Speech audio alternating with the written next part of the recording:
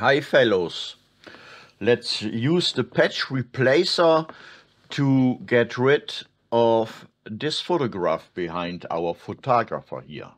In order to achieve that, we're going to the effects library and in the open effects panel, we are looking for the patch replacer that you will find under Resolve FX Revival. Drag it on your footage and once you have it on your footage, you can go to this little drop down menu and click on Open FX.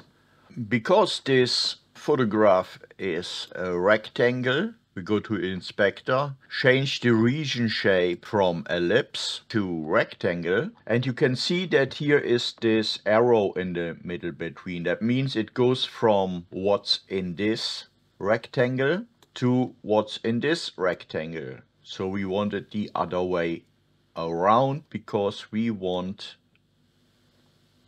remove our photograph but we want to choose the source as close as possible to it. So let's have a look.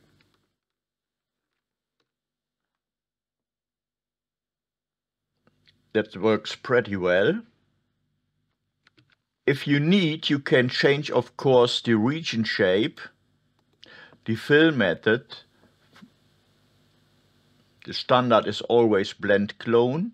You can also fast mask, blend mask, and you can also change the blur edge depending on your needs. So I hope this helps. Have a great day ahead and have fun with the other videos in this playlist. Goodbye.